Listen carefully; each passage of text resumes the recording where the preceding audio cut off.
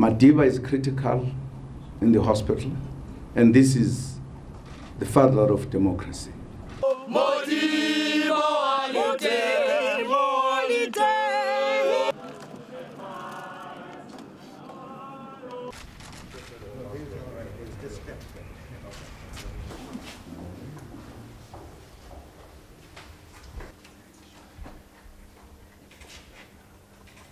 Mandela's spirit could never be imprisoned